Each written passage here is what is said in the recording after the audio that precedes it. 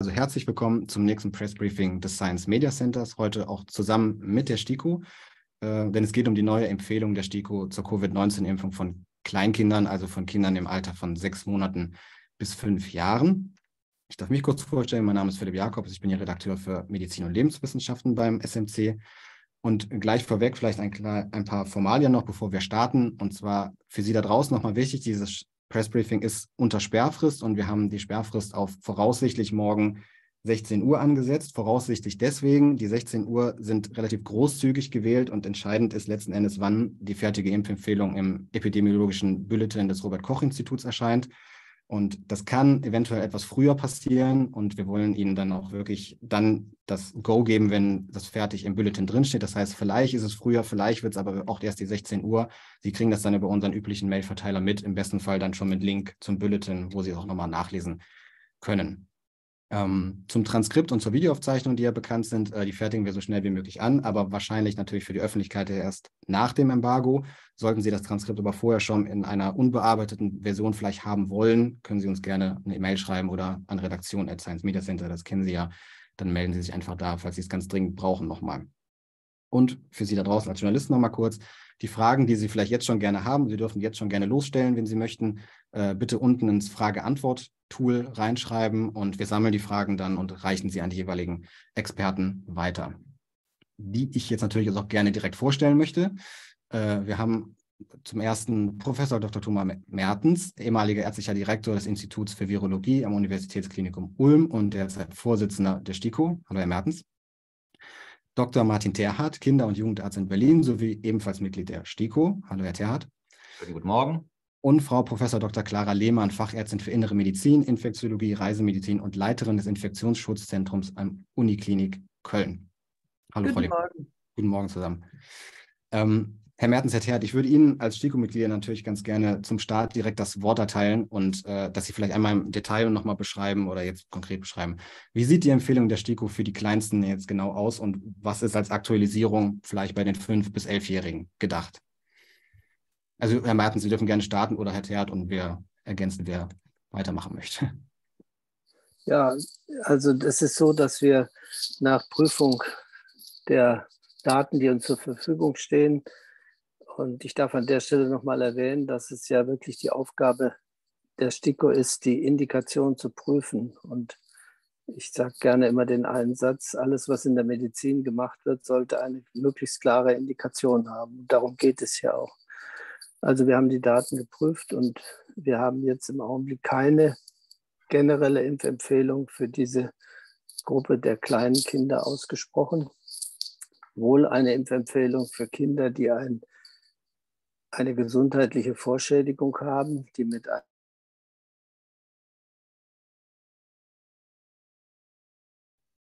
einer Infektion einhergehen.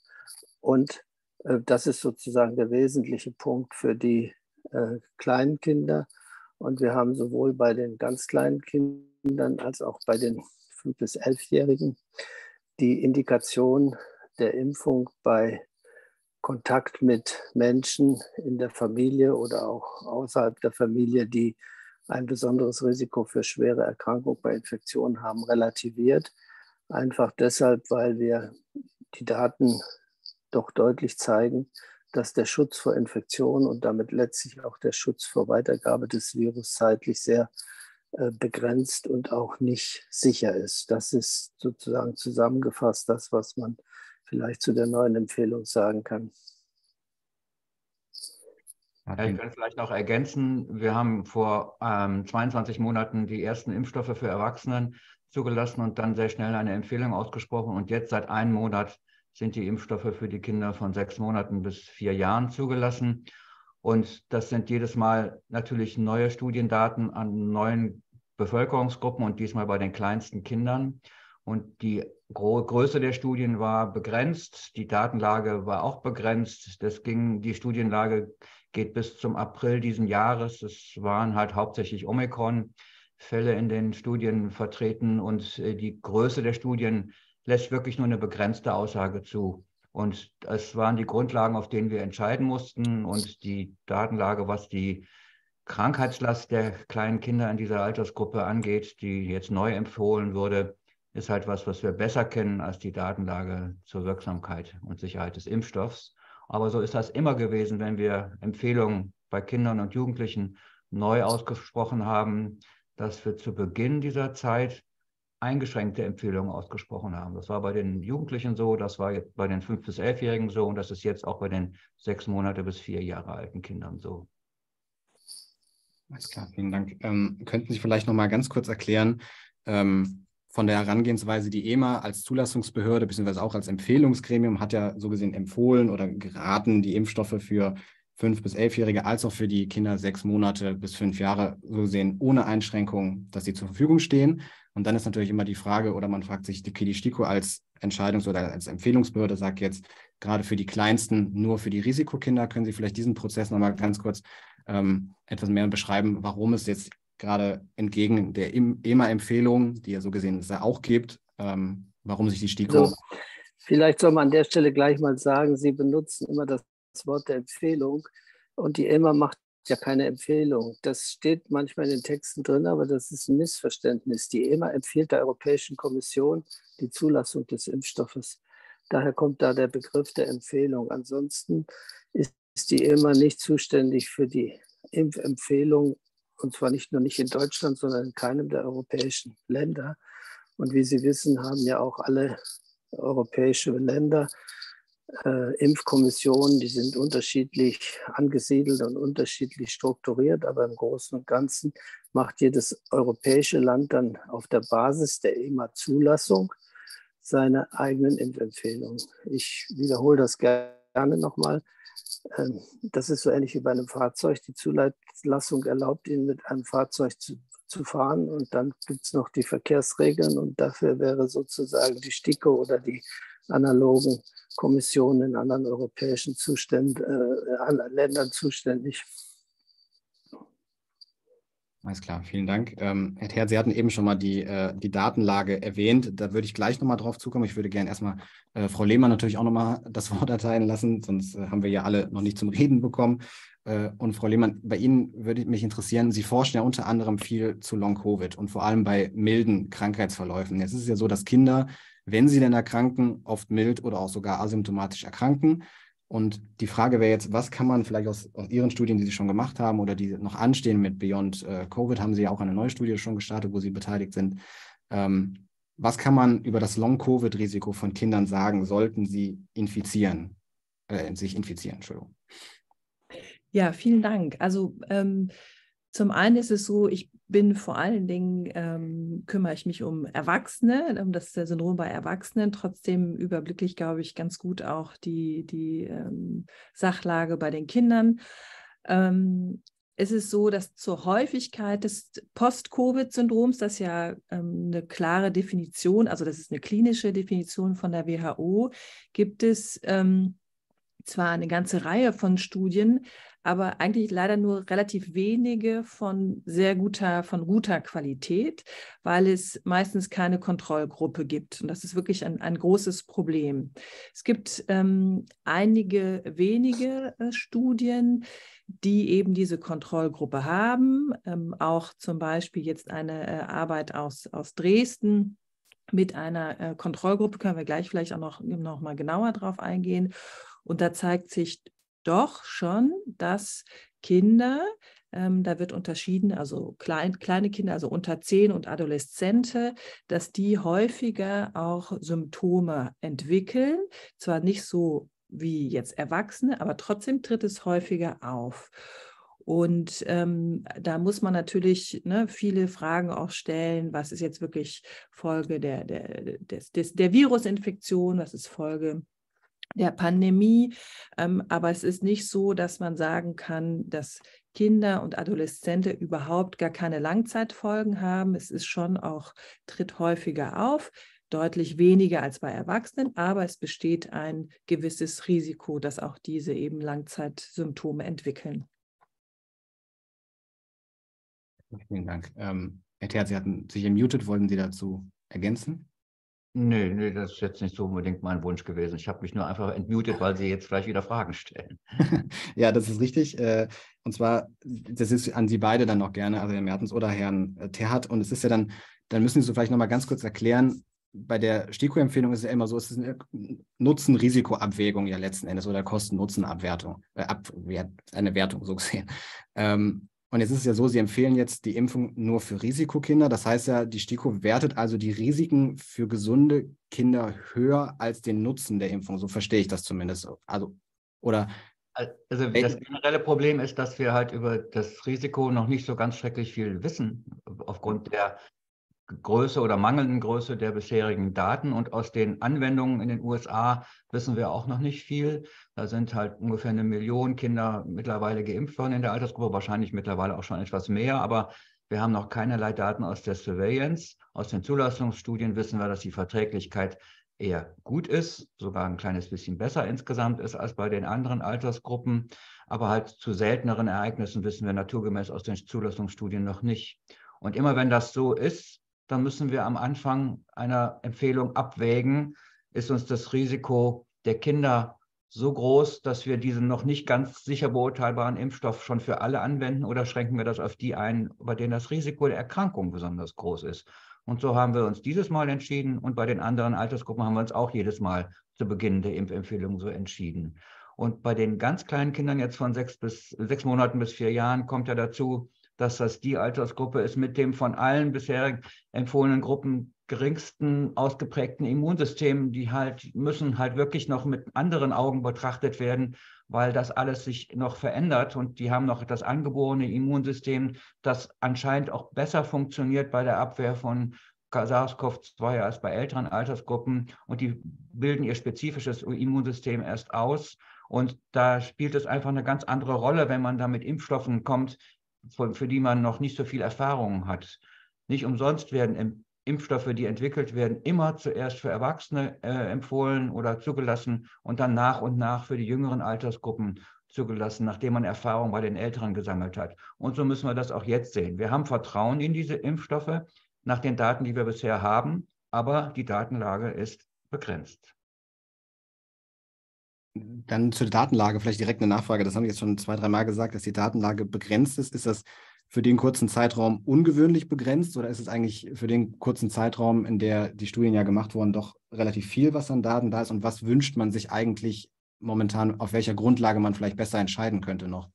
Ne, das ist der Natur der Sache geschuldet, dass die Datenlage nicht größer ist. Man kann in äh, so einer Situation nicht eine Studie mit zigtausend Kindern in der Altersgruppe auflegen, die in der Kürze der Zeit zu Ergebnissen führt. Und in dieser Situation, bei dem Impfstoff, den wir jetzt in Deutschland vorwiegend anwenden, hat es sich halt zu Beginn der Studie gezeigt, dass an der Dosis was geändert werden musste und dass halt zwei Dosen nicht ausreichen, sondern drei Dosen gegeben werden müssen. Dadurch hat sich die, der Studienbeobachtungszeitraum verlängert und dadurch gibt es auch weniger Kinder, die wirklich diese drei Dosen bekommen haben, als die, die zwei Dosen bekommen haben. Und das schwächt natürlich insgesamt die Ausgage, also Aussagekraft so einer Studie ab, dass, weil die Anzahl der Erkrankungsfälle oder Infektionsfälle in der Gruppe der geimpften Kinder und in der Gruppe der, der Placebo-Kinder sehr klein war. Und alles das zusammen macht die Evidenzqualität nicht sehr hoch. Und wir müssen halt trotzdem entscheiden, wie viel Vertrauen haben wir in diese Daten. Und das ist die Bewertung, die wir in der STIKO vorgenommen haben und die wir jedes Mal vornehmen müssen. Und dazu haben wir uns geäußert. Dazu werden wir ausführlich in der äh, Begründung, der wissenschaftlichen Begründung Stellung nehmen, die morgen erscheinen wird. Und in der Zusammenfassung haben wir uns das dann halt so entschieden, wie wir uns entschieden haben, um halt jetzt den größtmöglichen Nutzen für die Gruppe äh, äh, zu erzeugen, die es am ehesten braucht. Das sind die Kinder mit Vorerkrankungen, die bisher schon in der Liste der älteren Kinder bekannt waren und jetzt noch hinzugekommen sind die Frühgeborenen in den ersten beiden Lebensjahren, weil da auch noch ein zusätzliches Risiko sich gezeigt hat in den bisherigen Ergebnissen.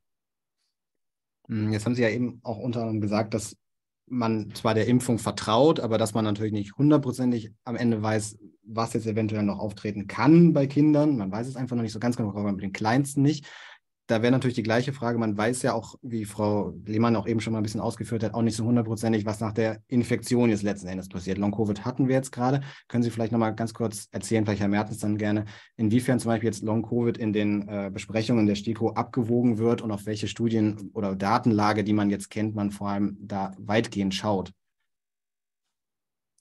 Ja, natürlich Long-Covid oder sagen wir mal so, alle Folgen der Infektion spielen bei unseren Diskussionen eine große Rolle und die Datenlage, die ist ja die gleiche. Und ich meine, Frau Lehmann hat Teile der Daten ja auch gerade schon erwähnt.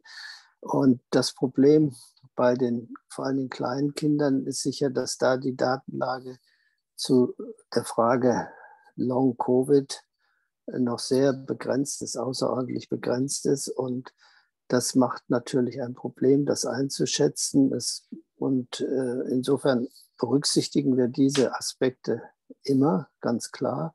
Aber ich komme darauf zurück, wir können sie nur auf der Basis verfügbarer Daten wirklich berücksichtigen. Und das haben wir in dem Fall auch getan. Und das hat jetzt keine, ähm, sagen wir mal so, das hat unsere Entscheidung zur Empfehlung jetzt in dem Fall nicht verändert. Vielleicht darf ich noch eins sagen zu dem, was Martin Terhardt gesagt hat. Man muss ja klar sagen, in der Zulassungsstudie zum Beispiel bei Comirnaty hat es ja weder in dem Impfarm noch in dem Placeboarm wirklich eine schwere äh, Covid-19-Infektion gegeben. Und auch, das hast du schon gesagt, aber die Anzahl der Fälle in der war sehr, sehr gering. Also wir reden von zwei und fünf Fällen oder äh, eins und äh, zwei Fällen. Also darauf kann man natürlich eine, eine Wirksamkeit berechnen. Mathematisch, das geht. Aber insgesamt sind unsere Erkenntnisse sowohl hinsichtlich der Wirksamkeit in dieser Altersgruppe als auch in, in hinsichtlich der Sicherheit in der Altersgruppe wirklich noch so begrenzt, dass wir das für diese kleinen Kinder berücksichtigen mussten. Es kommt noch hinzu, also die Frage der Ausreifung des Immunsystems. Gut, mit fünf Jahren ist sicher das Immunsystem des normalen Kindes ausgereift, aber das, wir wissen ja durch viele Untersuchungen, dass das etwa so die ersten drei Jahre, Lebensjahre dauert, bis die ganzen, die verschiedenen Immunfunktionen ausgereift sind. Es kommt auch noch hinzu, dass diese ganz kleine Gruppe der Kinder auch hinsichtlich pharmakologischer Effekte eine besondere Gruppe ist. Das heißt also, insofern kann man die nicht als, diese ganz kleinen Kinder kann man nicht als kleine Erwachsene betrachten, sondern sie sind eben in dieser Hinsicht besonders zu betrachten. Und insofern waren wir auch oder sind wir gezwungen, natürlich die, die, wie Sie sagen, die Nutzen und potenzielle Risikosituation ganz besonders zu untersuchen und zu durchleuchten. Und abschließend, es spricht aus Sicht der STIKO auch natürlich nichts dagegen, dann, wenn sich wirklich neue Daten ergeben, dass man dann auch die jeweilige Empfehlung anpasst. Das ist etwas, was nicht nur wichtig, sondern was auch sinnvoll ist und sie entspricht dem normalen wissenschaftlichen Vorgehen. Und es wäre schon wichtig, dass dies auch in der Bevölkerung verstanden wird, dass es nicht Ausdruck einer Unsicherheit ist, der STIKO, sondern dass es Ausdruck der Tatsache ist, dass man jede Empfehlung nur auf der Basis der aktuell verfügbaren Daten geben kann. Ich würde gerne noch was zu äh, den Long-Covid-Geschichten und auch vielleicht zu PIMS ergänzen. Das sind ja die beiden Konflikte, die wir mit Kindern vor allen Dingen haben, über die wir halt nicht so ganz viel wissen, vor allem was Long-Covid in dieser kleinen Altersgruppe angeht, weil die Symptome, die wir unter Long-Covid zusammenfassen, natürlich bei kleinen Kindern in dem Alter von sechs Monaten bis vier Jahren viel schwerer zu erfassen oder auch in irgendwelchen Fragebögen zu erfassen sind, weil Kinder nicht immer sagen können, wenn sie Geruchs- oder Geschmacksstörungen haben. Man merkt es dann eher hinterher, wenn sie nichts mehr essen möchten, was sie vorher gegessen haben. Man kann sie nicht fragen, wie, wie kannst du gerade dich konzentrieren? Und das sind alles äh, viel schwierigere äh, Diagnosekriterien in dieser Altersgruppe. Und insofern ist das da besonders schwierig zu beurteilen. G generell sagt aber die Studienlage, dass in dieser jüngeren Altersgruppe und auch bei Kindern generell Long-Covid seltener ist als bei Jugendlichen und jungen Erwachsenen. Das ist auf jeden Fall so, dass wir davon ausgehen können. Und was PIMS angeht, also diese Multiorgan-Entzündungssyndrom-Krankheit, die infolge von Covid-19 bei Kindern aufgetreten ist, die zu Krankenhausaufenthalt, auch Intensivstation geführt hat. Das war vor allen Dingen in Ursprungsvarianten des ähm, Virus äh, der Fall und ist unter Omikron deutlich zurückgegangen. Das heißt, die Krankheitslast, was PIMS angeht, spielt eine wesentlich geringere Rolle und auch die Kinderkliniken, die damit befasst sind, wissen, wie viel besser jetzt damit umzugehen. Und daran ist bisher kein Kind in Deutschland verstorben. Die sind alle wieder gesund geworden. Frau Lehmann, Sie hatten sich, glaube ich, gemeldet. Ja, ja genau. Äh, ich glaube, das ist sehr, sehr wichtig, was äh, Herr Terhardt hier äh, nochmal zusammengefasst hat. Also ähm, es ist eben sehr schwierig, auch eine gute äh, Datenlage zu haben und wir brauchen Evidenz und die Bevölkerung äh, versteht das nicht. Aber wir, das ist ja der Standard, den wir haben wollen, einfach eine gute Datenqualität zu haben. Und ein Problem bei der Interpretation der Ergebnisse ist, äh, ne, dieser, die, diese Kohortenanalysen ist, dass wir ähm, eigentlich bislang ähm, nur Daten haben, also nur in Anführungsstrichen, äh, von Infektionen mit der Wuhan-Variante, die wie viel, viel aggressiver war, ähm, wie der Kollege Terhat das gerade auch schon erwähnt hat. Das heißt, wir haben jetzt schon wieder eine ganz andere Situation, äh, um diese, ne, um die Empfehlung dann jetzt wiederum auszusprechen. Und also man weiß zum Beispiel bei den Erwachsenen, dass die, äh, dass das Post-Covid-Syndrom weniger häufig auftritt nach, äh, seitdem die Omikron-Variante ähm, äh, vorhanden ist. Aber hier ist dann auch die Frage, ähm, ist das weniger häufig, weil das Virus weniger aggressiv ist? Oder ist es weniger häufig, weil die Menschen insgesamt sich etwas sicherer fühlen. Es gibt die Impfung, sie merken, das ist nicht mehr so aggressiv. Ja, also das ist, das kann ja auch eine Komponente sein. Und genau diese Evidenz müssen wir auseinanderhalten. Und ich bin der festen Überzeugung, dass es dieses postvirale Syndrom gibt mit einem ähm, biologischen und organischen Korrelat.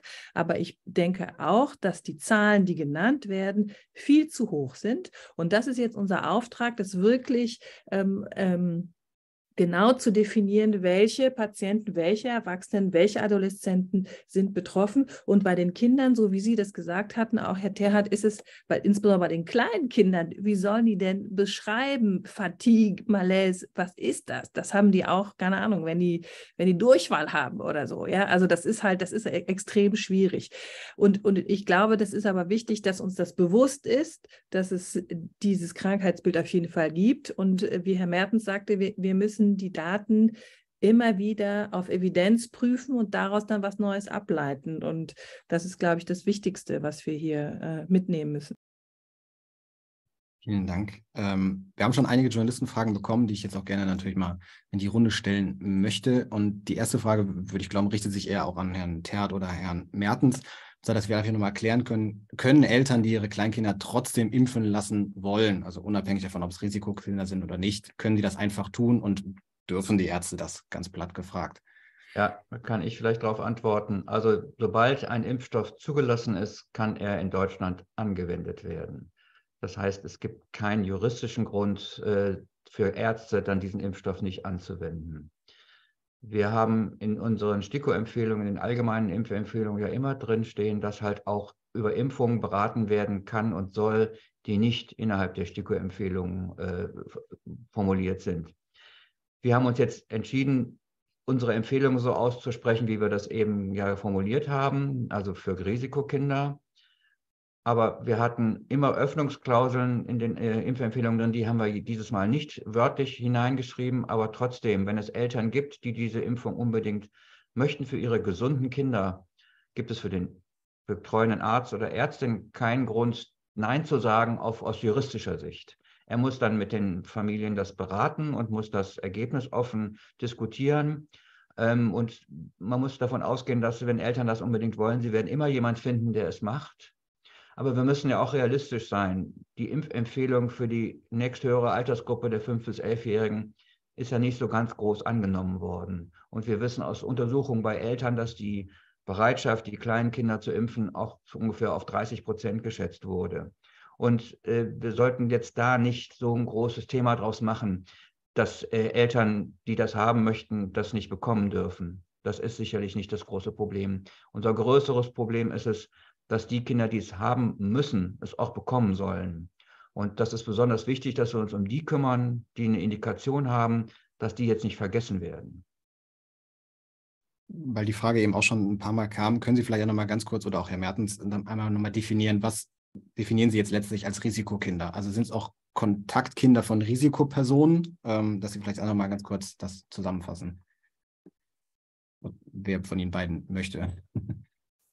Also ich kann zu den Risikogruppen vielleicht was sagen. Das sind halt zu den bekannten Risikogruppen aus den anderen Altersstufen ein bisschen modifizierte Angaben. Wir wissen, dass zum Beispiel Asthma in dieser Altersgruppe nicht so eine große Rolle spielt. Und wenn überhaupt, dann geht es wirklich um die schlecht kontrollierten Kinder mit frühkindlichem Asthma. Äh, wir wissen, dass Diabetes in dieser Altersgruppe keine große Rolle spielt. Aber wir wissen, dass halt Frühgeburten in den ersten beiden Lebensjahren aus den Datenlagen, die wir aus den weltweiten Studien dazu haben, überrepräsentiert waren bei den schweren Verläufen. Und insofern haben wir die aufgenommen in unsere Liste. Ansonsten ist es halt besonders starkes Übergewicht, angeborene Immunschwächen, Herzfehler, äh, chronische schwere Lungenerkrankungen, chronische Nierenerkrankungen, neurologische Erkrankungen, das ist besonders wichtig. Kinder mit neurologischen und muskulären Erkrankungen haben auch ein sehr hohes Risiko zu erkranken und die dürfen wir nicht vergessen. Dann, wie gesagt, Frühgeburtlichkeit, schwere Herzinsuffizienz, also Herzschwäche und äh, angeborene Syndromerkrankungen mit verschiedenen Organbeteiligungen, darunter auch zum Beispiel die Trisomie 21, wo sich allerdings mittlerweile auch herausgestellt hat, dass junge Erwachsene und Erwachsene mit Down-Syndrom viel häufiger von schweren Verläufen betroffen sind als Kinder. Trotzdem haben wir sie in diese Gruppe aufgenommen und Tumorerkrankungen und andere hämatologische maligne, also bösartige Erkrankungen. Das sind die Gruppen, die darunter fallen. Wenn man das numerisch äh, auffasst, dann sind das vielleicht 10 Prozent dieser Altersgruppe. Und zu Ihrem zweiten, zum zweiten Teil Ihrer Frage, nämlich dem äh, Risiko im Kontakt, da haben wir die Empfehlung für die gesamte Altersgruppe der Kinder, also von sechs Monaten bis elf Jahren, relativiert. Äh, da geht es ja um den sogenannten Drittschutz. Also was kann man durch die Impfung dieser Kinder erreichen im Hinblick auf den Schutz von Kontaktpersonen oder auch sonstige Kontaktpersonen, wenn diese Kontaktpersonen selbst ein hohes Risiko haben, bei Infektionen schwer zu erkranken. Und äh, da haben wir verfügbaren Daten Eltern, Großeltern und letztendlich der behandelnden Ärzte zurück. Äh, Herr Mertens, ich glaube, Ihr Internet ist gerade etwas, etwas wackelig. Dass Kinder, hallo, dass Kinder auch aus Drittschutzgründen geimpft werden sollen, relativiert. Okay, wir haben leider bei Ihnen jetzt gerade nicht alles verstanden, weil Ihr Internet etwas wackelig war, aber ähm, vielleicht kommen wir gleich auch nochmal drauf zurück. Hm, und Frau Lehmann, äh, genau, Sie hatten netterweise im Chat auch nochmal bei mir jetzt gefragt, ob Sie mir die Frage zur Psychosomatik und äh, Long-Covid auch nochmal äh, beantworten können. Das dürfen Sie natürlich ganz gerne machen. Also gehen Sie ruhig nochmal darauf ein. Ich wiederhole vielleicht diese Frage nochmal. Es kam die Frage auf, ähm, also zwei Dinge, äh, ob das Post-Covid-Syndrom psychosomatisch ist und ob ich bei den STIKO-Empfehlungen beteiligt war. Ich fange erstmal mit der zweiten Frage an. Ich war nicht bei den STIKO-Empfehlungen beteiligt. Äh, und zu der ersten Frage, die mir ganz, ganz wichtig ist zu erläutern. Also, ich denke, dass das Post-Covid-Syndrom äh, aktuell noch ein Potpourri ist von zwei verschiedenen Krankheitsbildern. Und zwar das eine ist das postvirale Syndrom mit einem wirklichen biologischen, organischen Korrelat. Und das andere ist im Prinzip, kann man äh, zusammenfassen unter dem Post-Traumatic Stress Disorder. Das sind Erkrankungen, die bereits bekannt sind. Ähm, also Syndrome, die bekannt sind schon auch vorher, die aber ganz unterschiedliche Ursachen haben und die auch ganz unterschiedlich versorgt werden müssen. Und ähm, es wäre fatal, wenn man sagte, Post-Covid-Syndrom ist Psychosomatik. Auf gar keinen Fall. Also Post, das postvirale Syndrom ist wirklich eine Folge der Viruserkrankung mit einem organischen Korrelat. Also man sieht zum Beispiel, das Endothel ist verändert, man sieht, dass Autoimmunantikörper nachweisbar sind. Also man sieht wirklich Veränderungen. Bei dem Post-Traumatic Stress Disorder, das ist im Prinzip Folgen der Pandemie, also ähm, psychosoziale Stressfaktoren. Also bei Erwachsenen weiß man das, wenn die ihren Beruf verloren haben, finanzielle Sorgen haben, soziale Deprivation haben. Bei den Kindern genauso. Sie waren, konnten nicht in die Schule gehen, sie hatten ihre sozialen Kontakte nicht mehr. Hat einfach erhebliche Auswirkungen auf die, auf die Kinder. Und diese, die, diese Menschen müssen natürlich versorgt werden, aber die müssen anders versorgt werden als Leute mit einem Folge eines Post, einer Infektion mit postviralen Syndrom. Und, und das ist ganz, ganz wichtig, dass man das unterscheidet und dass man nicht alles in einen Pott wirft, weil, weil wir so eben diese Leute nicht richtig versorgen werden. Und das ist mir eben sehr, sehr wichtig, dass wir das unterscheiden, dass uns das klar ist und dass wir das, diese Unterschiede äh, erarbeiten ähm, und, und nicht einfach sagen, ja, das ist Psychosomatik, ist ja nichts. Psychosomatik ist im Übrigen auch sehr wichtig und äh, muss ernst genommen werden. Äh, ja, genau, das, dem kann ich nur voll zustimmen. Aber der entscheidende Punkt für uns ist dann, was kann man durch eine Impfung beeinflussen? Und da ist es natürlich klar, dass man nur das durch Impfung beeinflussen kann, was wirklich durch das Virus selbst verursacht worden ist. Oder man kann nur ganz am Rande vielleicht auch einen psychischen Effekt der Impfung akzeptieren. Aber eins würde ich an der Stelle ganz gerne sagen als Virologe. Diese Postinfektionsproblematik ist ja nicht ausschließlich eine Problematik von SARS-CoV-2. Das kennen wir ja seit vielen Jahren, Jahrzehnten.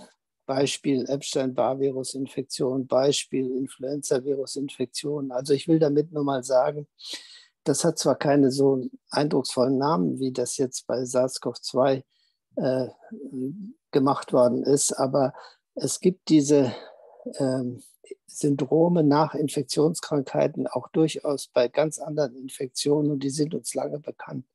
Und die Eltern und die Älteren unter uns können sich vielleicht noch erinnern, dass es ja mal das sogenannte Lake Tahoe-Syndrom gab. Das war ein äh, Chronic Fatigue Syndrom, was dem HHV6 zugeschrieben wurde, damals dem neu entdeckten Herpesvirus.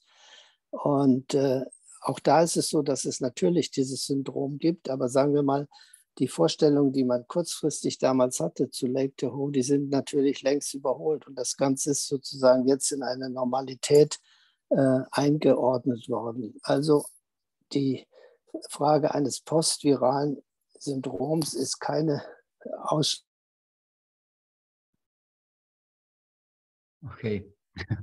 Er wackelt wieder ein bisschen. Ich kann vielleicht nochmal ergänzen. Zum Glück haben wir ja in Deutschland mittlerweile auch einige Spezialambulanzen, die sich mit Kindern mit diesem Problem beschäftigen, die halt auch Diagnosekriterien entwickelt haben, die sehr ausführliche Untersuchungen durchführen mit diesen Kindern, um zu entscheiden, was jetzt die zusätzlichen Probleme sind und äh, dann auch Vorschläge macht, wie man eine Rehabilitation angeht. Man weiß aber, dass diese Long-Covid-Verläufe bei Kindern eigentlich alle auch irgendwie eine bessere Chance haben, relativ bald wieder wegzugehen, äh, besser als bei vielen Erwachsenen. Trotzdem, jeder Einzelfall muss ernst genommen werden und wir sind da mittlerweile dabei, viel mehr Wissen und Kompetenz gesammelt zu haben. Und ich denke, wir brauchen noch mehr Ambulanzen dafür, aber diese Patienten werden alle eine Heimat finden. Und wir versuchen halt jetzt äh, durch die Impfung das Risiko der akuten Erkrankungen, bei denen dies angeht, zu reduzieren. Es sieht so aus, dass auch das Long-Covid-Risiko durch die Impfung reduziert werden kann, aber auch da ist die Datenlage leider nicht, noch nicht so ausreichend, dass man sich da wirklich hundertprozentig drauf stützen kann. Bei Kindern zumindest ist die Datenlage nicht Genau. So das wollte ich nämlich gerade sagen, ja, weil bei den Erwachsenen, muss man sagen, gibt es schon sehr gute äh, Daten, äh, dass eben die Impfung, insbesondere wenn man also zwei und drei Impfungen hat, ja, dass das dann äh, weniger häufig auftritt. Also das heißt, auch man hat nicht nur ne? akuten, ja. sondern auch. Und jetzt ist es eben das Wichtige zu schauen, wie es bei den Kindern, ne? Äh, eben diese Evidenz zu schaffen. Ich glaube, das Wichtige ist immer, die Evidenz zu schaffen. Ja. ja würde direkt mal kurz reingrätschen, weil wir schon so viele Fragen noch zur Empfehlung nochmal haben. Also manches ist vielleicht noch ein bisschen ja. unklar, deswegen würde ich da nochmal kurz reingrätschen. Und zwar ähm, Herr Mertens oder Herr Theat, vielleicht Herr Theat, weil Herr Mertens Internet gerade etwas wackelig zumindest war. Ähm, können Sie vielleicht nochmal ganz kurz sagen, weil es, glaube ich, noch nicht alle in der Form jetzt mitbekommen haben, was genau ändert sich bei den 5- bis 12-Jährigen und bleibt es bei der Empfehlung für eine Dosis bei gesunden 5- bis 11-Jährigen? Ist es ja, glaube ich, eigentlich. Also es geht ja um die 5- bis 11-Jährigen, genau. Ähm, ab zwölf Jahren sind ja die Erwachsenenimpfstoffe vorgesehen und zugelassen und empfohlen. Ähm, wir haben diese Impfempfehlung ja äh, modifiziert, dass wir nicht nur die Risikokinder impfen lassen, sondern dass alle gesunden Kinder einmalig geimpft werden sollen mit unserer letzten Abwandlung dieser Empfehlung. Und diese Empfehlung wollten wir überprüfen jetzt im Herbst, weil es uns darum ging, die Kinder mit dieser einmaligen Impfung auf den Herbst und Winter gut vorzubereiten mit einer verbesserten Basisimmunität. Mittlerweile wissen wir, dass mindestens 90 Prozent in dieser Altersgruppe mindestens eine Infektion hatte. Und äh, wir gehen weiterhin davon aus, dass durch eine zusätzliche einmalige Impfung in dieser Altersgruppe eine bessere Basisimmunität geschafft werden kann und haben aber keine Notwendigkeit gesehen, diese Impfempfehlung jetzt zu verändern und eine zusätzliche Impfung noch zu empfehlen.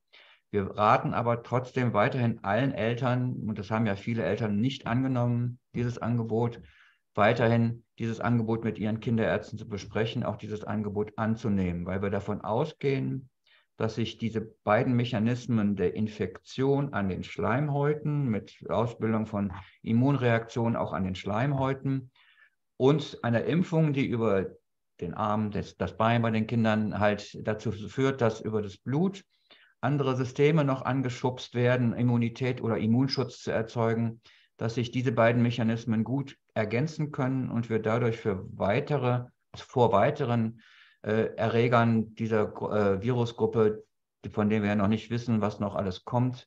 Aber äh, es werden noch andere Varianten kommen und dass wir davor auch weiteren Schutz anbieten können durch diese zusätzliche einmalige Impfung.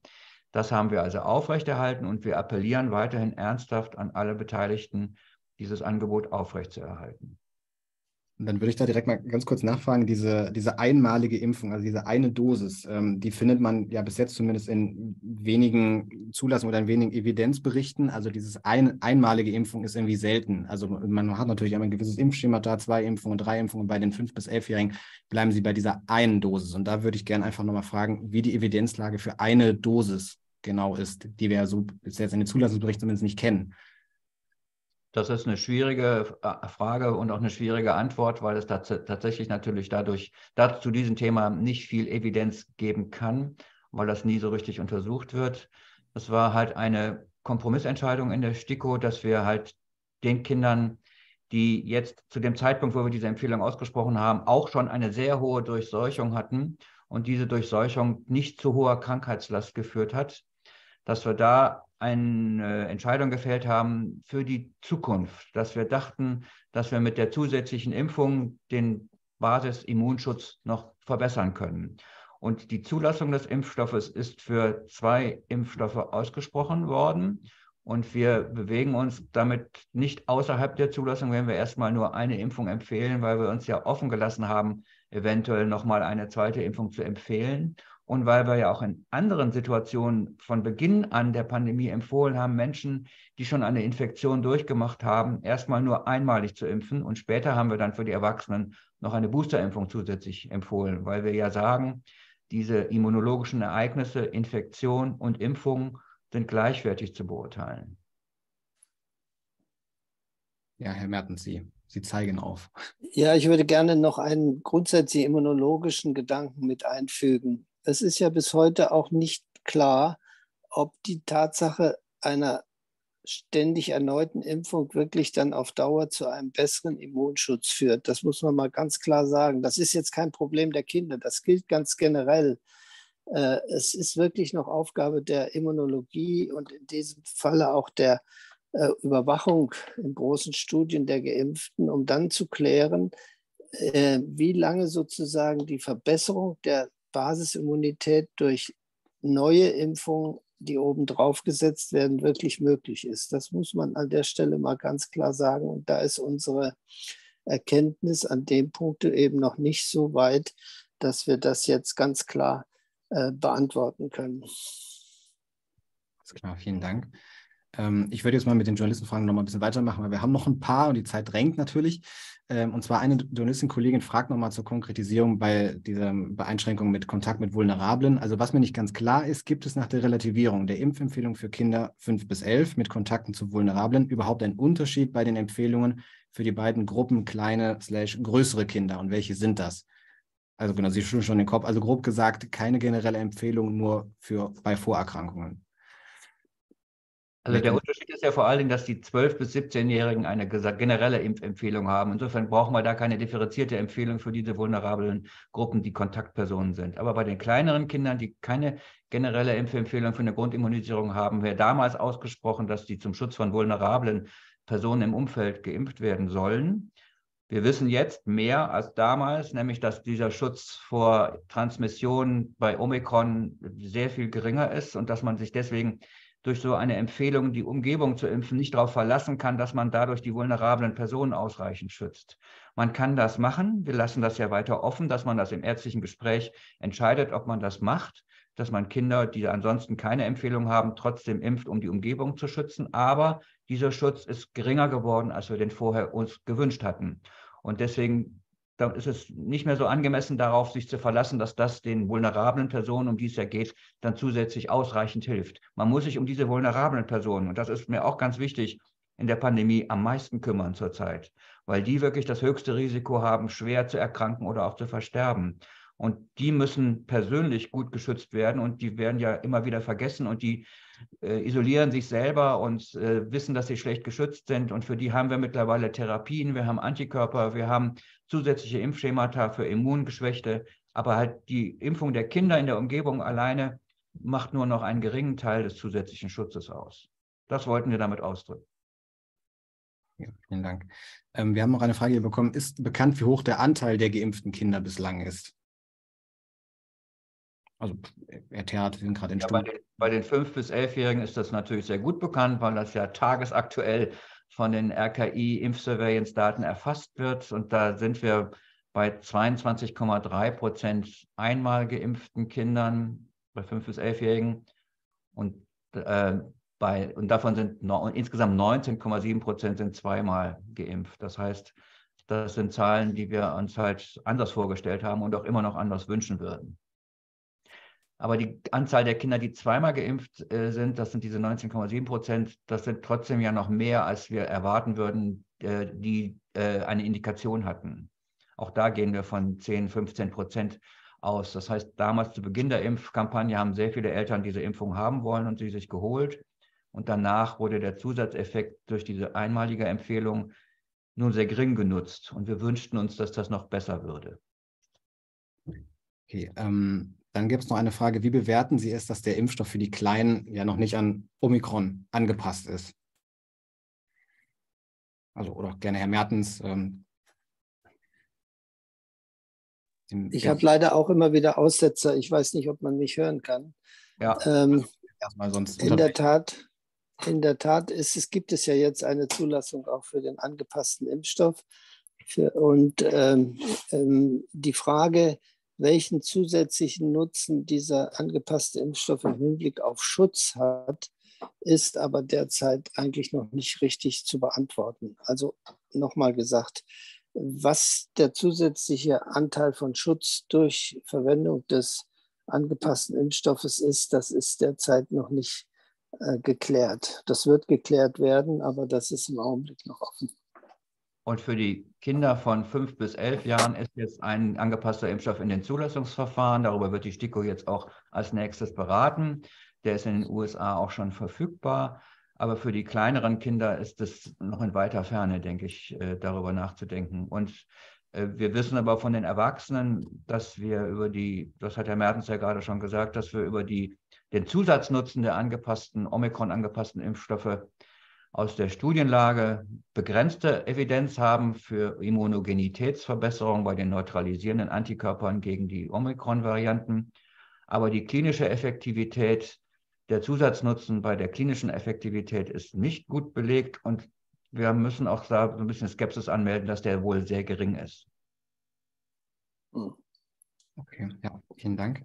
Ähm, Herr Theer, das jetzt die nächste Frage wäre so ein bisschen auch in Ihre Richtung als niedergelassener äh, Mediziner. Das würde mich interessieren. Und zwar, hier schreibt jemand, ich höre immer wieder von Fällen, in denen Impfwillige ohne Vorbelastung von ihren Ärzten abgewiesen werden. U50-Jährige werden bei dem Wunsch nach der vierten Impfung abgewiesen, U80-Jährige bekommen keine fünfte Impfung. Als Begründung wird genannt, dass es jeweils keine STIKO-Empfehlung gebe. Also ist das im Sinn der STIKO, wird hier gefragt, oder ist das ein falsches ärztliches Verständnis der STIKO-Empfehlung? Aber vielleicht können Sie da einfach nochmal so ein, ein Stimmungsbild aus der Ärzteschaft geben, was STIKO-Empfehlungen anbelangt. Also bei den, da muss man jetzt differenzieren zwischen den Erwachsenen und den Kindern. Bei den Erwachsenen haben wir da ja eine Klausel reingeschrieben, dass das individuell durchaus Sinn machen kann, eine fünfte Impfung zu geben oder ein fünftes Ereignis ähm, zu empfehlen und äh, dass es da Beratung bedarf äh, und dass da vor allen Dingen die Hochbetagten oder Heimbewohner oder nicht immungesunden oder besonders Immunosensizenten rundum mit gemeint sind.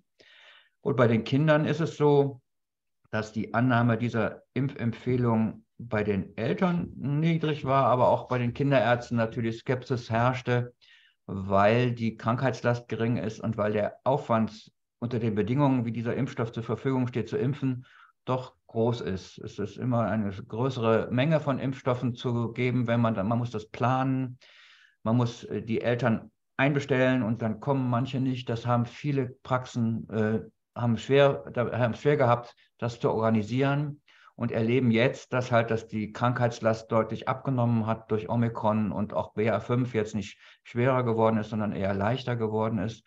Und so dass das Thema, das Thema ähm, SARS-CoV-2 oder Covid-19 in den Kinderarztpraxen zurzeit gar nicht so ein großes ist. Da ist eher andere Infektionserreger das Thema, zum Beispiel RSV oder jetzt beginnend Influenza oder Rhinoviren. Aber Covid-19, SARS-CoV-2 ist eine wirklich gering ausgeprägte Schwere in den Kinderarztpraxen. Insofern ist das Thema, da jetzt großen Aufwand zu betreiben, um die Impfkampagne nochmal ins, ans Laufen zu bringen, schwieriger. Und ich würde mir dennoch wünschen, dass die Bereitschaft, das durchzuführen, wieder wächst und dass man sich auch äh, Mühe gibt, gelegentliche Impfnachmittage anzubieten und es gibt Praxen, die das machen, die das sogar offen anbieten, die immer äh, einmal in der Woche so einen Termin anbieten und jeden, äh, der kommt, äh, auch dann impfen. Das ist für die Eltern aber natürlich schwierig, immer diese Ansprechpartner zu finden, wenn es ihr eigener Kinder- und Jugendarzt oder Ärztin nicht macht. Ähm, da würde ich mir durchaus wünschen, dass das ein bisschen besser laufen würde in Deutschland. Vielen Dank. Ähm, wir haben noch einmal die Frage oder die Nachfrage nochmal bekommen, wie häufig treten denn bei Kindern unter fünf Jahren schwere Covid-19-Fälle auf? Ähm, ich weiß nicht, vielleicht Herr Mertens oder auch Frau Lehmann, falls das in Ihren Daten schon mal irgendwie vorkam oder so. Ähm, also, dass man einfach so ein Gefühl dafür bekommt, wie schwer oder wie häufig diese Fälle nun sein können. Vielleicht, also Herr Mertens gerne zuerst und dann. Äh, Sie sind noch gemutet, genau. Ja. Also schwere Fälle sind selten. Und man kann sagen, dass äh, wenn wir mal anfangen mit den Fällen von Kindern, die verstorben sind, da ist es tatsächlich so, das sind wenige, das sind also in der Größenordnung von ähm, etwa zwei Dutzend, von denen waren aber die allermeisten vorerkrankt. Das heißt, diese Kinder hätten auch so durch die, durch die STIKO-Empfehlung letztlich eine Empfehlung zur Impfung, hätten eine Empfehlung zur Impfung gehabt. Äh, ansonsten ist es so, dass die, äh, die, äh, die Hälfte etwa der Kinder, die mit äh, SARS-CoV-2 im Krankenhaus hospitalisiert worden sind, wahrscheinlich nur wegen äh, SARS-CoV-2 hospitalisiert worden sind und die andere Hälfte ist wegen anderer medizinischer Notwendigkeiten hospitalisiert worden, die dann bei der Aufnahme durch die Testung aufgefallen sind. Und insgesamt äh, sind die äh, hospitalisierten Kinder in dieser Altersgruppe äh, gering, wie gesagt, und die Anzahl der Kinder, die eine intensivmedizinische Behandlung erforderlich machte, es liegen unter zwei Prozent der äh, insgesamt wegen Covid-19 Hospitalisierten. Also man kann zusammenfassend sagen, dass die Krankheitslast bei den Kindern äh, wirklich gering ist. Es gibt sie natürlich, aber es ist, sie ist sehr gering.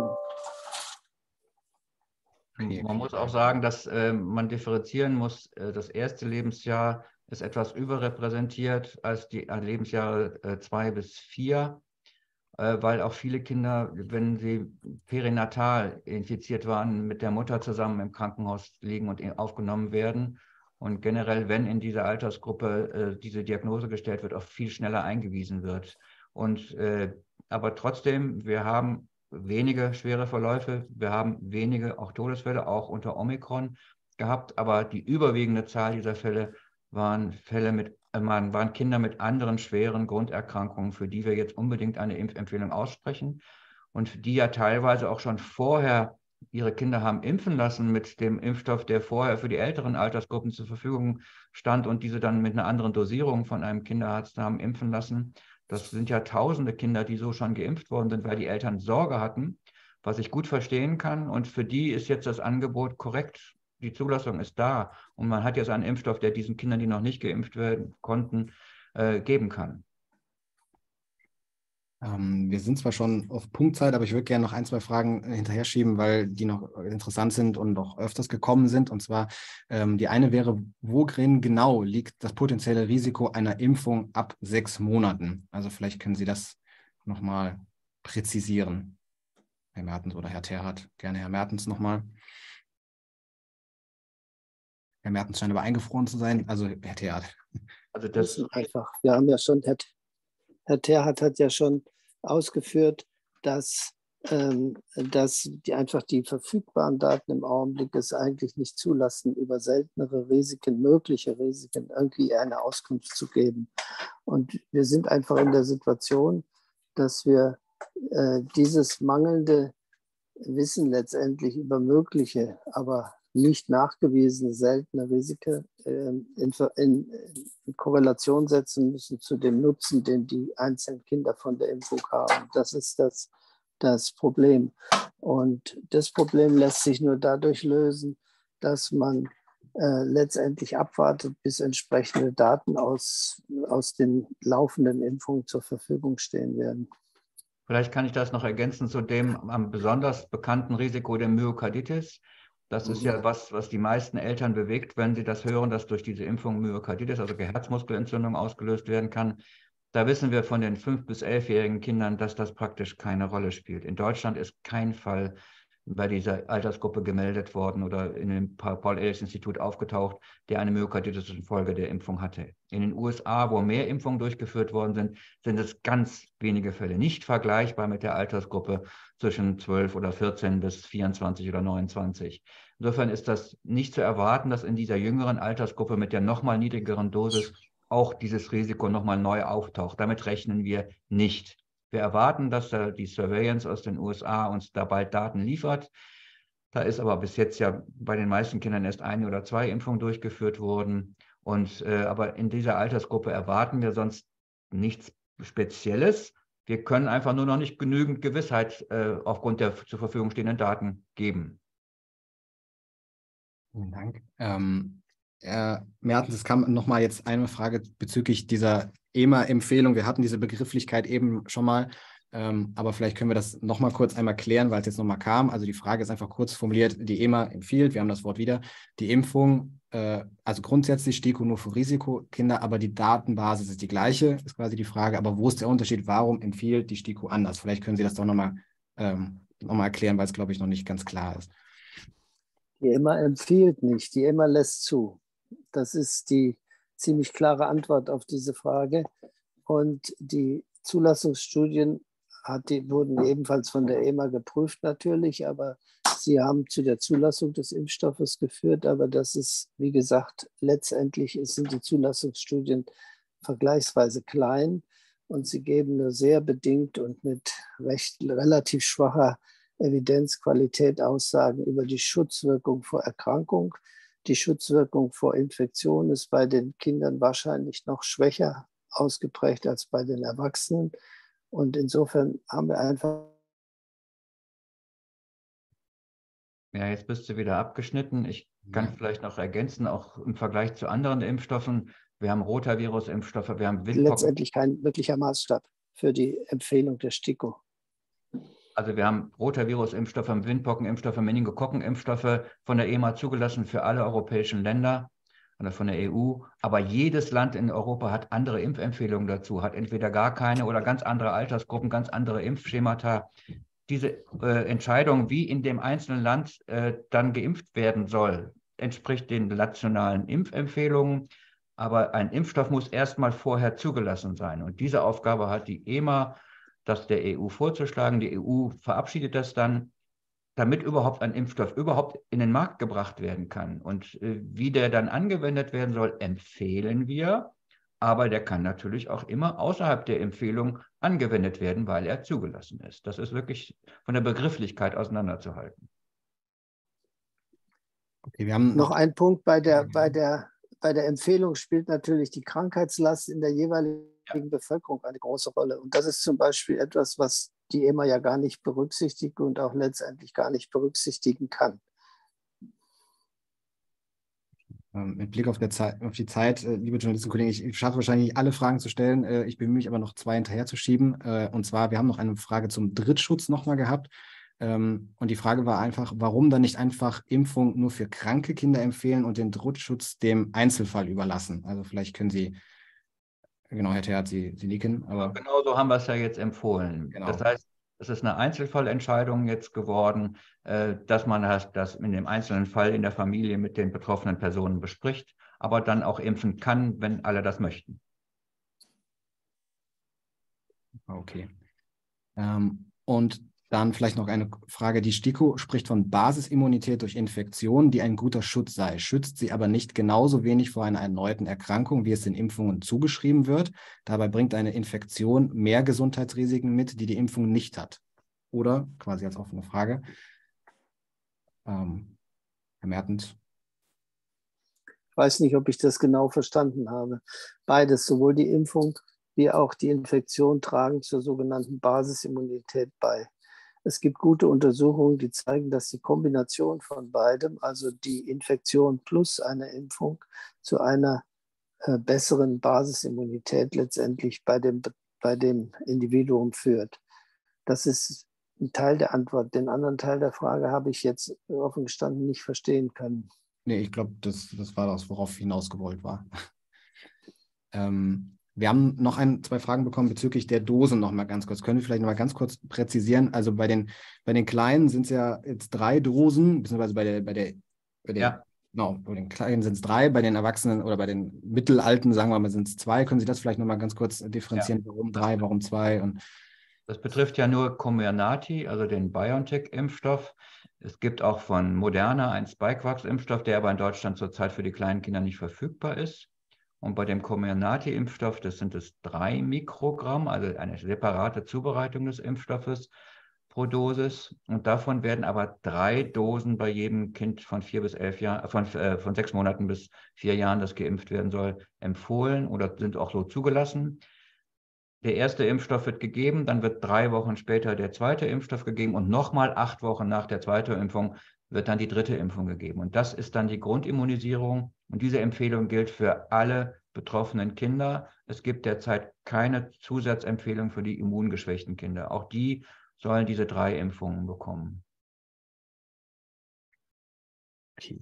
Ähm, soweit ich es sehe, haben wir jetzt nicht mehr sehr viele weitere Fragen, aber wir sind noch lange schon über der Zeit. Deswegen würde ich jetzt ähm, auch schon Sie alle wieder verlassen, beziehungsweise Sie dürfen uns verlassen. Ähm, es war sehr spannend. Ähm, ich hoffe, ähm, die Journalisten draußen sind äh, zufrieden geworden mit Ihren Fragen. Sorry, dass Sie mir alle stellen können. Wenn Sie noch ein, zwei Fragen haben, die Sie dringend noch äh, an die Experten weiterreichen wollen, ähm, schreiben Sie uns die. Vielleicht können wir dann noch einen kleinen Kontakt nochmal herstellen für ein, zwei Fragen. Ähm, das wäre sicherlich kein Problem. Ähm, und dann danke ich Ihnen allen und äh, vor allem auch Frau Lehmann, vielen Dank, dass Sie, obwohl Sie jetzt das Hotelzimmer langsam räumen müssen, aber ich hoffe, es hat noch geklappt jetzt mit der Zeit. Und genau, sehr gerne bis bald und äh, genau, kommen Sie gut dahin, wo Sie vielleicht jetzt noch hinwollen. Vielen Dank. Danke auch. Machen Sie es gut.